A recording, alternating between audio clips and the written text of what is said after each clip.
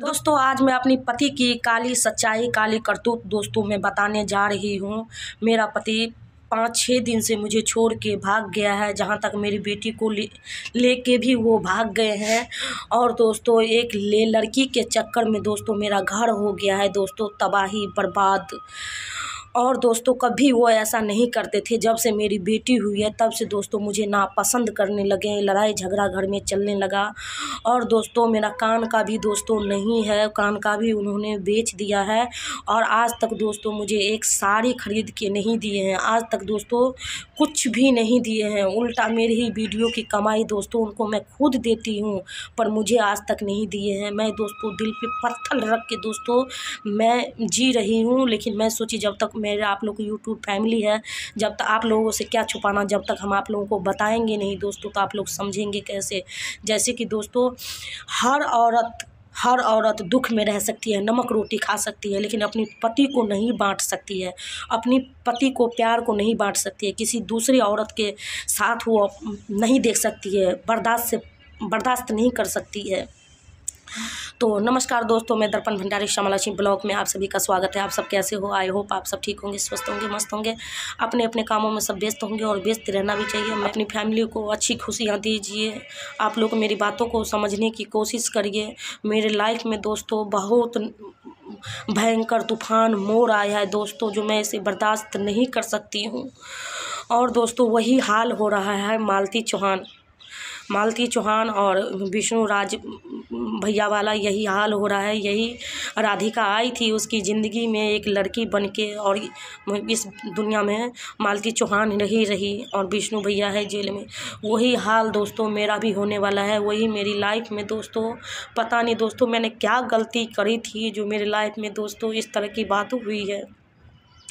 समझ में नहीं आ रहा है दोस्तों जो चार पाँच दिन से छः दिन से घर से वो भाग गए हैं, बेटी ले को भी भाग गए हैं, कान का मेरा बेच लिए हैं और कभी आज तक दोस्तों मेरे एक साड़ी नहीं दिए हैं और मैं कुछ भी नहीं मानती हूँ और मेरा दोस्तों मायके भी इतने अच्छे नहीं हैं जो हज़ार पाँच सौ रुपये मुझे दे दे या सपोर्ट करे, मुझे हेल्प करे।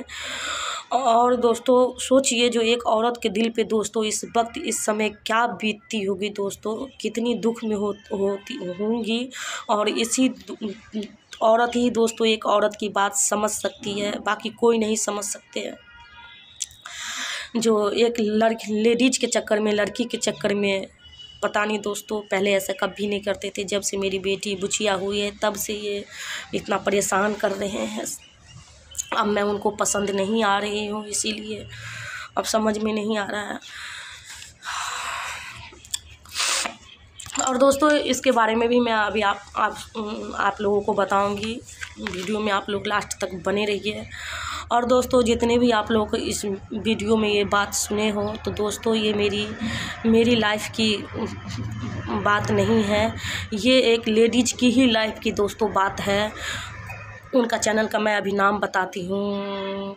खुशी, मौज मस्ती है मस्ती है, खुशी मस्ती ऑफिशियल यानी मतलब खुशी तेजू भैया जो है, उनकी है जानी पहचानी, चेहरा है, उनका बहुत बड़े यूट्यूबर है।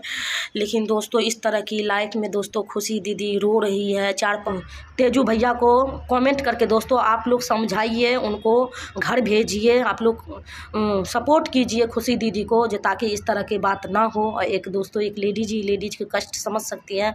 और मज़ाक उड़ाने वाले लोग को दोस्तों तो बहुत मज़ाक उड़ाएँगे। लेकिन आप लोग से दीदी हम रिक्वेस्ट करते हैं, जो प्लीज़ आप लोग इस तरह की बात विचार मत डालिए, क्योंकि पैसे आप कमा सकते हैं, लेकिन प्रतिष्ठा अगर एक बार खो देंगे तो दोबारा वापस नहीं आ सकता है, किसी भी कीमत पे नहीं आ सकता है। तो इसीलिए दोस्तों मैं शाम को वीडियो बनाती हूँ और अभी मैं इस समय अभी साढ़े बारह, एक बज रहे हैं, मैं ये वीडियो अभी बना रही हूँ। तो मैं आप लोगों से रिक्वेस्ट करती हूँ, जो सब आप लोग कॉमेंट में खुशी दीदी को हौसला दीजिए और तेजू भैया को भी आप लोग कमेंट करके समझाइए। जो जो पत्नी होती है दोस्तों, वो दुनिया में कोई नहीं होता है। सब घर बर्बाद करने के लिए होते हैं। अभी जैसे कि देखे हैं जो मालती चौहान और राधिका बीच में आई। या मालती चौहान बेचारी इस दुनिया में नहीं रही। सब देख रहे हैं, हाहाकार मचा है। लेकिन दोस्तों कुकुर बिलाई सबको कोई फ़र्क नहीं है। और एक कुतिया और फिर से दोबारा भौंकने लगी है। उसके लिए दोस्तों मैं शाम को वीडियो बनाती हूँ। आप लोग टेंशन मत लीजिए, उसको मैं शाम को अच्छे से उसको मैं धुलाई करूँगी। तो दोस्तों मेरा वीडियो आप लोगों को कैसा लगा प्लीज़ कमेंट करके दोस्तों ज़रूर बताना और एक लाइक दोस्तों ज़रूर करना। और खुशी दीदी को दोस्तों आप लोग जाके उनके सपोर्ट कीजिए और लाइक कीजिए, कमेंट कीजिए, समझाइए, उनको हौसला दिए। देखिए दोस्तों ये राम मंदिर का है और मैं यहाँ से सर्च मारी हूँ अपने मोबाइल में। तो अयोध्या और लखनऊ, दिल्ली से जहाँ से मैं रहती हूँ, ग्यारह सौ इक्यावन किलोमीटर दूर पड़ रहा है दोस्तों और मिनी का किराया है साढ़े तेरह हज़ार, सिर्फ़ जाने का, आने का साढ़े तेरह हज़ार तो सत्ताईस हज़ार यही हो गया। और दोस्तों, मेरी बेटी भी छोटी है और उसमें दोस्तों तीन से चार जने बैठ के जा सकते हैं। और दोस्तों, ठंड काफ़ी है, मुझे नहीं लगता है जो मेरे भाग्य में ऐसा लिखा है जो मैं राम मंदिर में जा पाऊँ। और उस धरती पे, उस ज़मीन पे मैं पाँव रख सकी हूँ। अभी मेरी किस्मत में दोस्तों नहीं है, इसीलिए जब कोशिश कर रहे हैं दोस्तों, अगर जब जाने का होगा, अगर वो जब घड़ी आ जाती है तो दोस्तों जानती हैं, कोई नहीं रोक पाते। लेकिन नहीं लग रहा है। और दोस्तों, जो यूट्यूब पे आज काफ़ी दिनों से तहलका जो मचाई थी, सबको धमकी दे रही थी, गाली गलौज दे रही थी, सबको शराब विनाश कर रही थी, उनके चैनल पे आ गया है दोस्तों, स्ट्राइक।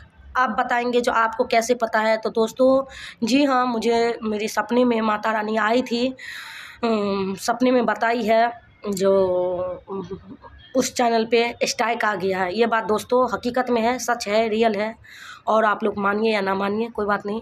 तो दो समय में छत पे दोस्तों देखिए कितना वो है धुन और दोस्तों, अभी इस वक्त साढ़े बारह बज रहे हैं दोस्तों। आप सोच रहे हैं, साढ़े बारह बजे, एक बजे का धुन है दोस्तों, साढ़े बारह से ऊपर हो रहा है। मैं दूसरा मोबाइल नहीं लाई हूँ, इसीलिए।